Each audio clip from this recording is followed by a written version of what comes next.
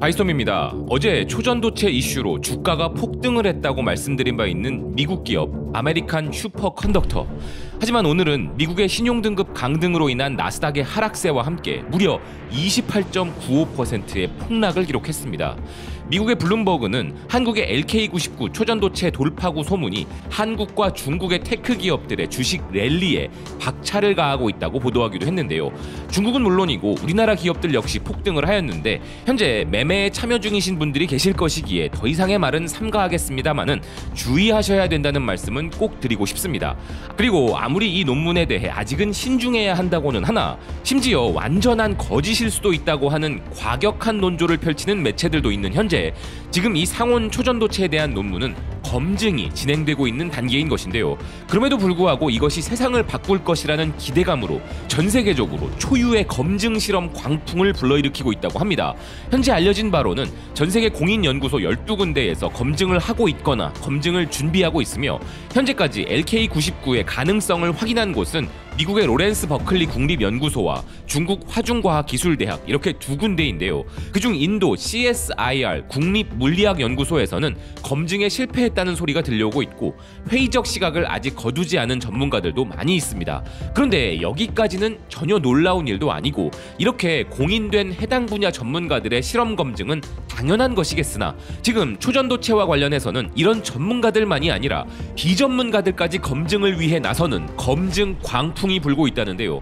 미국 매체 바이스는 현재 개인 과학자들과 사설 기관들도 상온 초전도체를 복제해 보기 위해 경쟁하고 있다면서 현재까지는 LK99가 실패작이 될 수도 있고 세상을 바꾸는 발견이 될 수도 있는 상황인데 이를 알아보기 위한 개인들의 검증이 소셜 미디어에 올라오고 있다는 것입니다. 마치 이것이 DIY 초전도체 만들기라도 되는 것처럼 개인들까지 나서서 복제 테스트를 해보려는 실험 광풍이 불고 있다는 것인데요.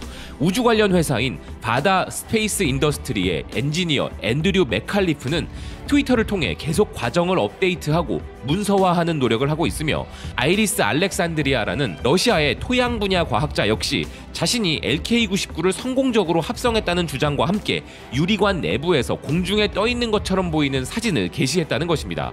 하지만 기사가 논평을 요청하자 작업이 아직 완료되지 않았다고 답변했다는데요.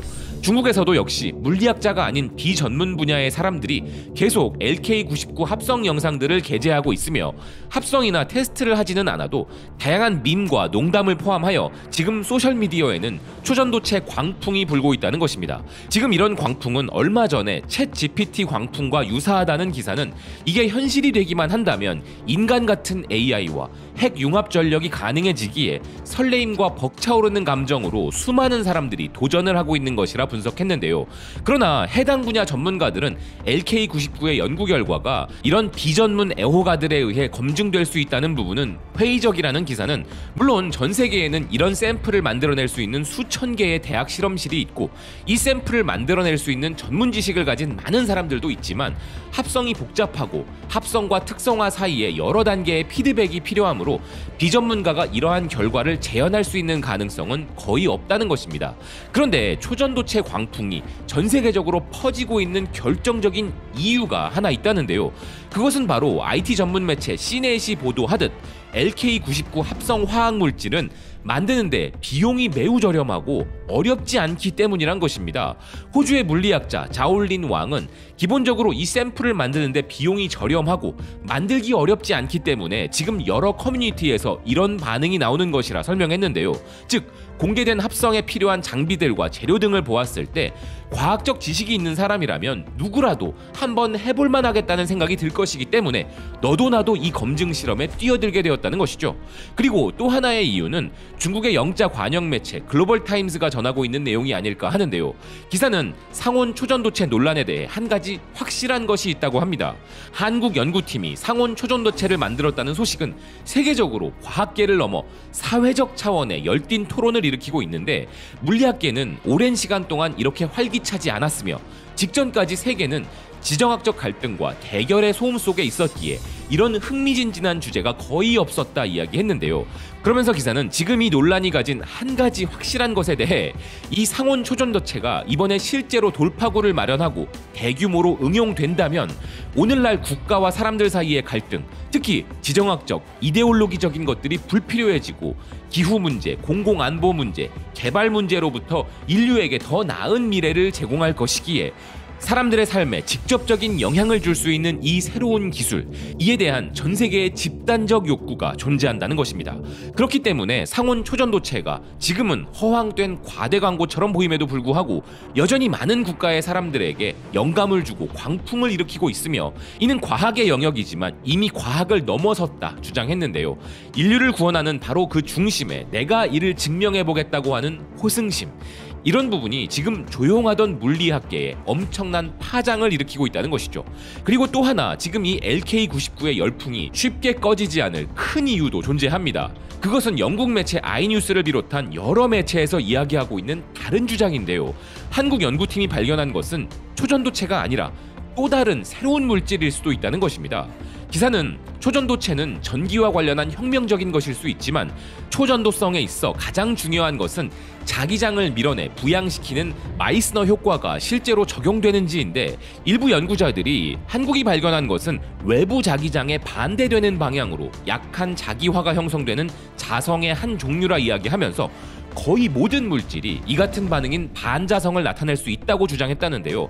쉽게 말해서 초전도체에서 부양 현상이 일어나는 것이 초전도체를 상징하는 특징이 아닐 수 있다는 것입니다.